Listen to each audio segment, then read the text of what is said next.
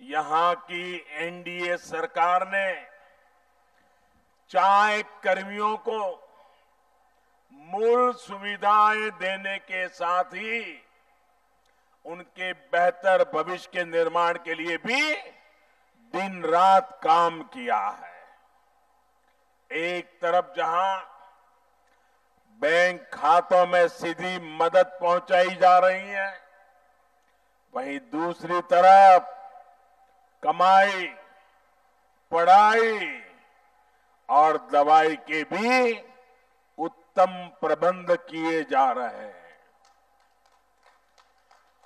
चाहे जनजाति के बच्चों को पढ़ाई जारी रखने के लिए हज़ारों रुपए की ग्रांट भी दी गई है। आज चाय बगानों के पास ही सवा सौ के करीब स्कूल खोले जा चुके हैं। अस्पतालों की सुविधाएँ विकसित की जा रही है। गर्भवती महिलाओं को अपनी और अपने बच्चों की देखरेख के लिए हज़ारों रुपए उपलब्ध कराए जा रहे हैं।